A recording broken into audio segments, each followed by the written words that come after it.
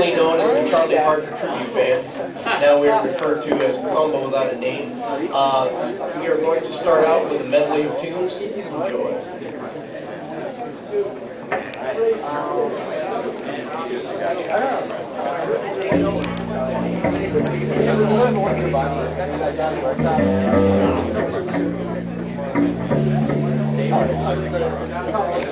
Enjoy.